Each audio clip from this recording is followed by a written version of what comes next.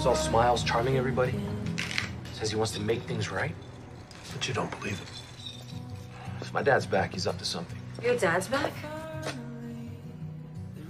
I'm, I'm sorry, I was just. No, it's okay. I should leave you two. Eh, eh, eh. Game's not over, Tanner. Sit.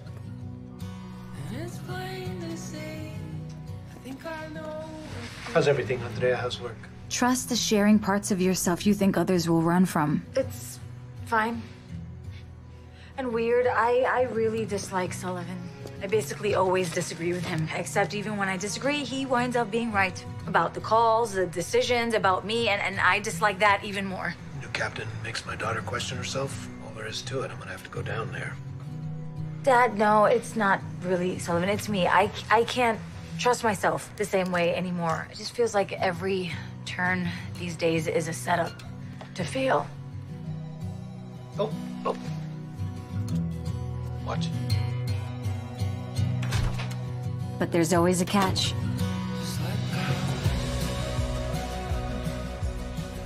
We haven't seen much of each other. Haven't even talked since the storm drains. That was not really talking. Maybe we should talk sometime. Catch up. Not on a porch. Andrea, it's for you. It's The guy you went out drinking with, Brad. He's very talkative. Did you know he raises chickens? Please talk to him so I don't have to anymore. I should get going. Because in order to gain trust, Oh, yeah. first,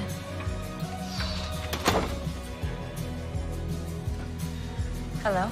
you gotta give it.